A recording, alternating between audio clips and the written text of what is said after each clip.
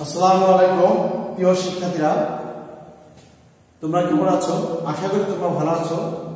আমিও আল্লাহর অশেষ সম্বন্ধে ভালো আছি। অনলাইন ক্লাসের ধারাবাহিকতায় আজ আমি তোমাদের যুক্তিবিদ্যার প্রথম পত্রের দ্বিতীয় অধ্যায়ের, তৃতীয় অধ্যায়ের যাতায়াত শ্রেণি বিভাগ নিয়ে আলোচনা করব। প্রিয় শিক্ষার্থীরা যাতায়াত শ্রেণি বিভাগ আলোচনা করবে যাতায়াতটা কি সেটা আমাদের জানা দরকার।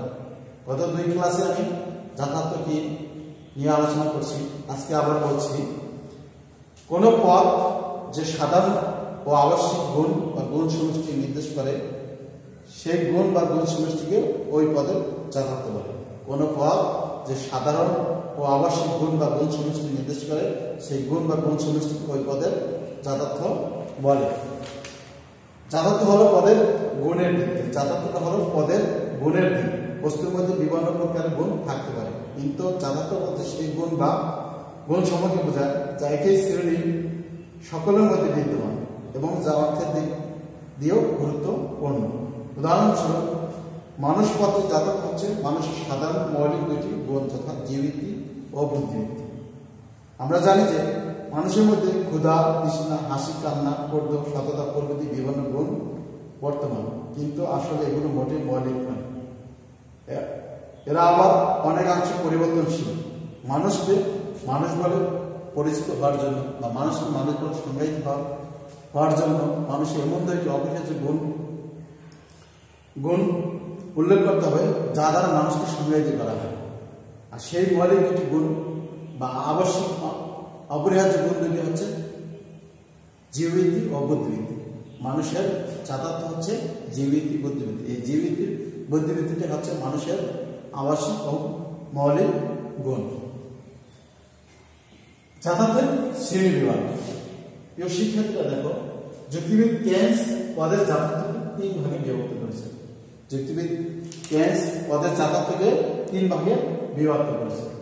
যথা ব্যক্তিগত যাতায়াত বস্তুগত যাতায়াত তিন নম্বর, প্রথাগত যাতায়াত বা যৌক্তিক যাতায়াত এখন ব্যক্তিগত যাতায়াত কি কোন একটি পদ ব্যবহার সময় ব্যবহারকারী মনে মনে সেই পদ সম্পর্কে যে গুণ বা গুণ সমবোধিত হয়, সেই গুণ বা গুণ সমষ্টি ওই পদের ব্যক্তিগত যাতায়াত বলা হয়।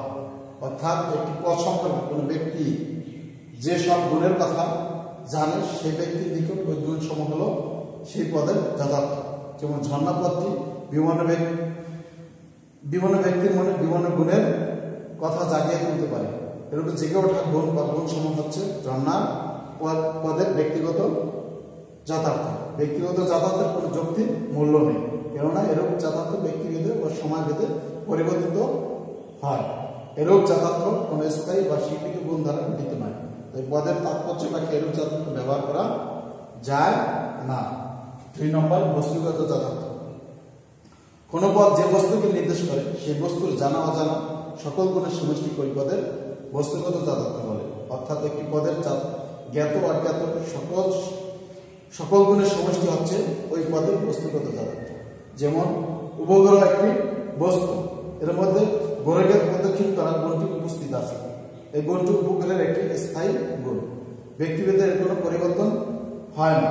উপগ্রহের মধ্যে হয়তো আরও কিছু গুণ আছে যেগুলো আমাদের কাছে অজানা এরূপ জ্ঞাত, অজ্ঞাত গুণের সমষ্টিকে উপগ্রহ পদের বস্তুগত যথার্থ বলা হয়। বস্তুগত যথার্থ অজ্ঞাত গুণ অন্তর্ভুক্ত করা হয় বলে সব গুণ উল্লেখ করা সম্ভব নয়।